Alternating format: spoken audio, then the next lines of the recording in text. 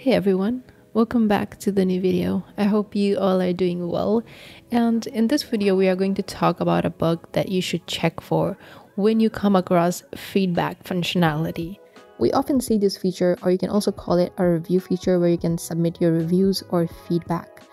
So, there are a few ways you can test it for vulnerabilities and we are going to explore it. So first, to explain this, I'm going to demonstrate you with a lab and then we are going to look at some reports as well. But of course, I'm going to give you real insights, not just solving a lab, okay? So let's get into it. Okay, so over here, you can see that we have a customer feedback feature.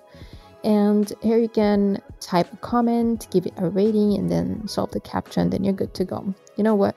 I have my burp suite running over here and I'm going to capture the feedback request. So I'm gonna turn on my intercept. Okay, so let's write a comment. Nice product. And let's give it a rating of four. And then we have this CAPTCHA, which is going to be 900.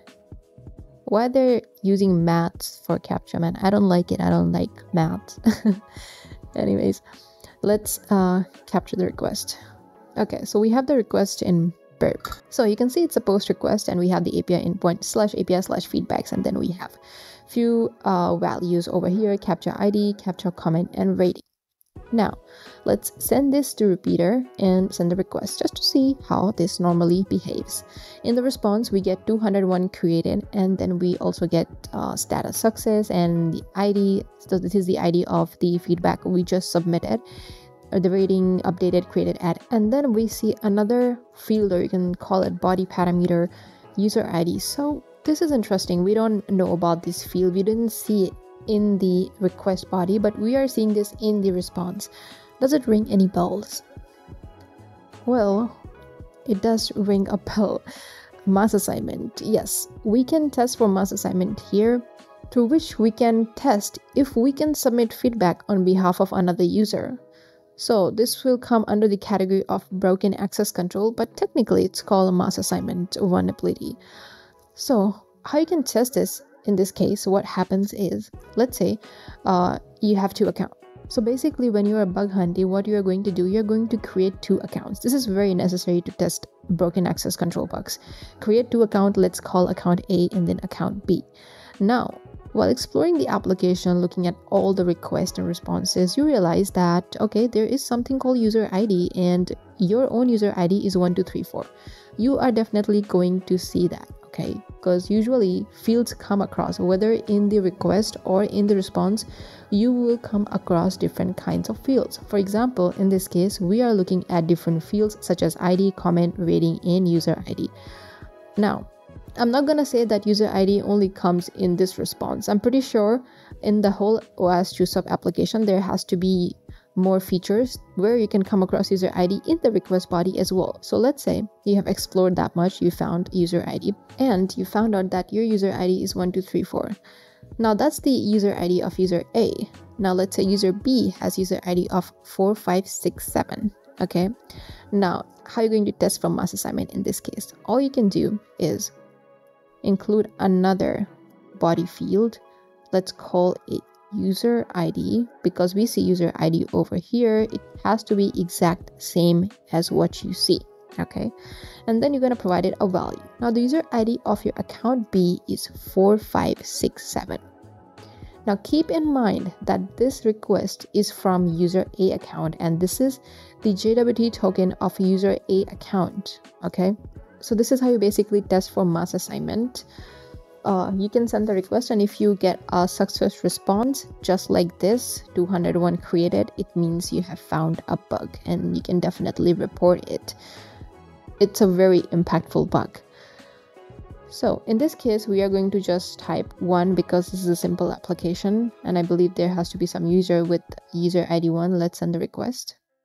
And in the response we are getting 201 created and okay we see user id 1 over here. It means this user id actually exists and we were able to create or submit a feedback for user id 1 whoever he or she is. So the thing is if this was not vulnerable you would get 403 forbidden or 401 unauthorized but we are not getting that. It means it's a bug. Now if you want to see it in real life like a real report for this one, I can show you this report. Okay, so back in my browser, uh, it also says that I've solved the challenge. Anyways, let's paste this. Okay, so this one was reported to HackerOne itself. IDOR on HackerOne feedback review. Okay, so a bug hunting buddy and a close friend of mine from ParrotSec, who is PH ambassador. Okay, this, okay, so this one is his friend and another friend. I used a Jong account to submit test reports to ParrotSec program.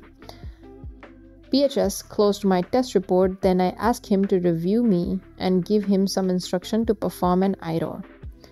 PHS clicked the review button and put the below necessary info selected friendliness radio button, public feedback. Jabs is awesome. Private feedback. Thanks for your report. Submit the report, capture the request. This is the request. Okay.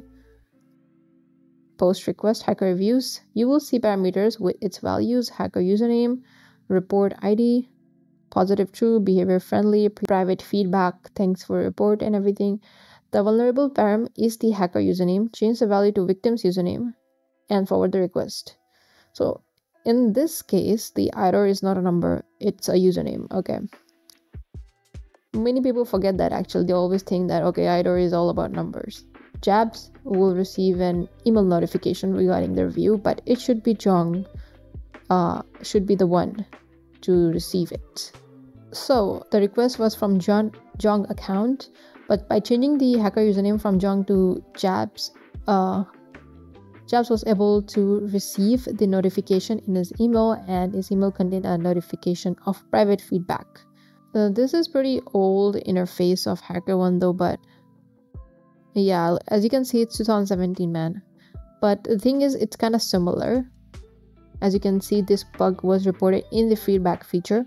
So yeah, being able to see other people private reviews or feedbacks uh, is also a bug. Sometimes there's a case like uh, you can see the feedback submitted by everyone through some endpoint that should be only available to admin. I think that is uh, available in the OSU shop as well. Now, another thing I want to mention when you are testing feedback is uh, you can also test for XSS. Now, there are two cases. First is um, stored XSS, of course, if your feedback's getting stored and if you can see the public feedbacks of everyone. Test for stored XSS, but if you cannot see the feedback, let's say the feedback just gets submitted uh, and only admins can see it, in that case, you can test for blind XSS. Now, I've also created a dedicated video on blind XSS, literally start to finish in simple language. I think you should definitely watch it. Okay, so that's it for this video. We just wanted to give you a quick idea of how you can test for these things. Hope you learned something new and enjoyed watching it. Let me know your thoughts in the comment section. Thank you so much for watching, and I'll see you in the next one.